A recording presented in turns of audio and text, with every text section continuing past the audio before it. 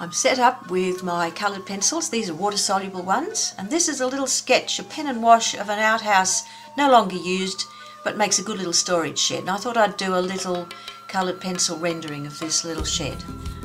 So I'm going over the background first and putting in the roof. And then I have washed over the background with a wash of water. Now, note how I'm holding the pencil. It gets a nice wide result with that lead coloured lead.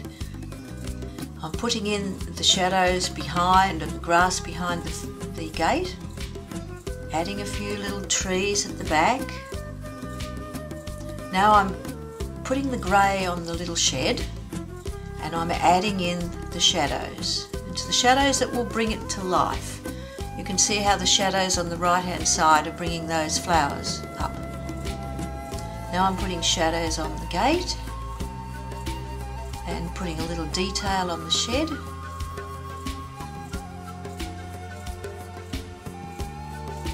Just finishing touches and more shadows to, just to give the shed its character.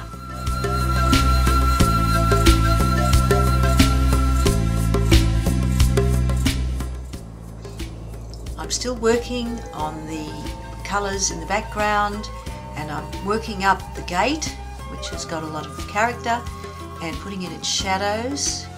If you don't have darks, you don't have lights. You've got to have the darks to show them up. Now I'm adding some water to the background and some water to those boards on the side of the shed, just smoothing out the grey, as these are water soluble pencils.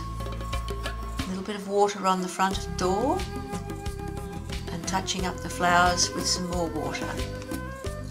And here's the finished pencil aquarelle drawing.